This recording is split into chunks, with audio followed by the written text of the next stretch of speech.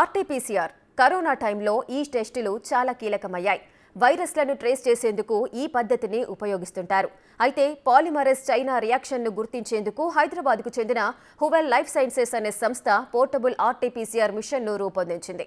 ముప్పై నిమిషాల్లోనే ఏ వైరస్నైనా ఈ పోర్టబుల్ మిషన్ గుర్తిస్తుందని కంపెనీ సీఈఓ రచనా త్రిపాఠి అంటున్నారు. ఈ మిషన్ను ఎక్కడైనా సింపుల్గా ఉపయోగించవచ్చని అంటున్నారు. టెస్ట్ అక్యురసీ కూడా కరెక్ట్గా ఉంటుందంటున్నారు.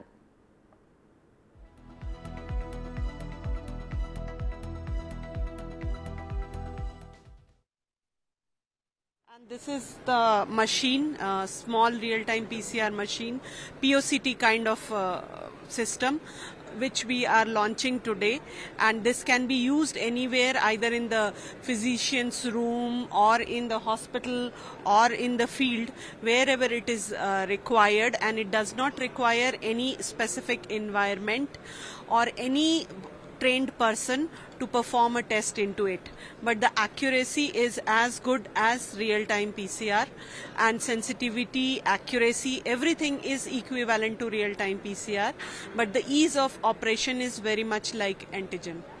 Uh, at present, we are not uh, giving it as a house testing or individual testing, but we are focusing more on like primary healthcare centers or the physician's uh, clinic or the gynecologist clinic because we have in this HPV and STDs.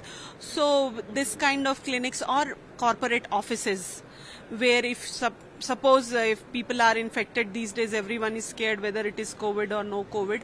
But we have a panel of different viruses which are possible.